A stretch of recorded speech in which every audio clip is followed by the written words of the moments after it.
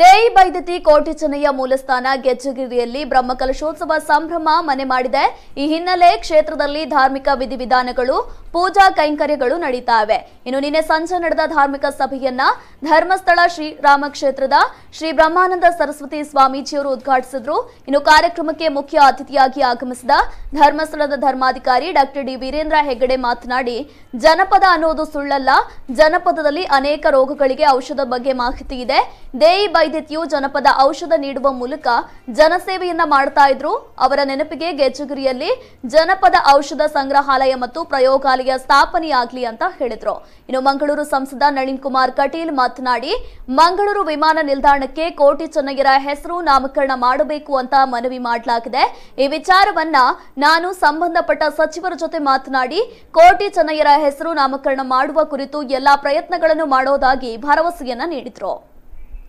ಇನ್ನು ಸಚಿವ ಕೋಟಾ ಶ್ರೀನಿವಾಸ್ ಪೂಜಾರಿ, ಶಾಸಕರಾದ ಸಂಜೀವ ಮಠಂದೂರು, ಹರೀಶ್ ಪುಂಜಾ, ಓಮನಾಥ್ ಕೋಟ್ಯಾನ್, ಸುನೀಲ್ ಕುಮಾರ್, ಬ್ರಹ್ಮ ಕಲಶೋತ್ಸವ ಸಮಿತಿಯ ಅಧ್ಯಕ್ಷ ಪೀತಾಂಬರ ಹೆರಾಜೆ, ಅನುವಂಶಿಕ ಮುಕ್ತೇಸರ ರವೀಂದ್ರ ಸುವರ್ಣ, ರಾಜಶೇಖರ್ ಕೋಟ್ಯಾನ್, ಜಯಂತ್ ನಡುಬೈಲು ಇನ್ನಿತರರು ವೇದಿಕೆಯಲ್ಲಿ ಉಪಸ್ಥಿತರಿದ್ದರು. ಹೊರಕಾಣಿಕೆಗೆ ಸಂಪತ್ತು, ಈ ಶ್ರೀಮಂತರ ಕೊರ್ಪುನ ಸಂಪತ್ತು ಎದುರು ಹತ್ತಂದು ಬಂದೆ. ಬಟ್ ಆ ಸಂಪತ್ತು ಹಾಕ್ಲು ಕೊರ್ಪುನವು, ಅವು ತಾನು ಮಣ್ಣಡು ಕೆಲಸ ಮಾಡ್ತದೆ, ಬೊಲೆದು. ಇಲ್ಲೆಲ್ಲ ಕೈಗೆ ದಿಕ್ಕಿನ ತಾರೈ, ಬಜ್ಜಿ, ಅವು ಒಂದು ಕರಂಬು ಪೂರ ಇಲ್ಲ ಪಾಡ್ದು. ಆಯೇ ಸೇವೆ ಮಲ್ಪಡೊಂದು ಬರ್ಪೇತ. ಐತ ಬೆಲೆ ಜಾಸ್ತಿ. ಆಂಡಲ, ಕೆಲವು ಸರ್ತಿ ನಮಕ್ ದಾದ ತೋಜನೊಂದು ಬಂಡ, ಈ ಸಮಾಜ ಸಂಘಟನೆಗೆ ಈ ಪುದೆ ಕಾರಣ ಆಗ್ಬೋದು. ಹೊರೆ ಕಾಣಿಕೆ ಅಂತ ಪನ್ಪನವು ನಮ್ಮ ಮಾತೆಲ್ಲ ಸೇರಿದು, ಆ ಪಾಲು ದೆತ್ತೊಂದು, ಜವಾಬ್ದಾರಿ ದೆತ್ತೊಂದು, ಒಂಜಿ ಕೆಲಸ ಮಾಲ್ಪ ಅಂತ ಪನ್ಪನ ಇದ ಕಾರಣ ನಿಮಿತ್ತ ಆಗ್ಬೋದು. ಇನಿ ಅಂಚಿತ್ನ ಒಂಜಿ ಬೃಹತ್ ಕೆಲಸ ಮೂಲ ಆತಂಡು ಉದ್ಧಾರೇದಾತ್ಮನಾತ್ಮಾನಂ ಆತ್ಮನ ಮೌಸಾದೇತ ಆತ್ಮಯೋ ಆತ್ಮನೋ ಬಂದು ಆತ್ಮಯೋ ಅರಿಪುರಾತ್ಮನ. ಉದ್ಧಾರೇದಾತ್ಮನಾತ್ಮಾನಂ ಆತ್ಮನ ಮೌಸಾದೇತ ಆತ್ಮಯೋ ಆತ್ಮನೋ ಬಂದು ಆತ್ಮಯೋ ಅರಿಪುರಾತ್ಮನ. ನಿನ್ನ ಆತ್ಮವನ್ನು ನೀನೇ ಉದ್ಧರಿಸಬೇಕು. ನಿನ್ನ ಆತ್ಮಕ್ಕೆ ನೀನೇ ಮಿತ್ರ. ನಿನ್ನ ಆತ್ಮಕ್ಕೆ ನೀನೇ ಶತ್ರುಂತೆ. ಆತ್ಮ ಸಂಯಮ ಯೋಗದ ಐದನೇ ಶ್ಲೋಕದಲ್ಲಿ ಭಗವಂತ ಹೇಳ್ತಾನೆ. ಸರಿ ಅಲ್ವಾ? ಗರುಡ ಪುರಾಣ ಏನು ಹೇಳ್ತದೆ?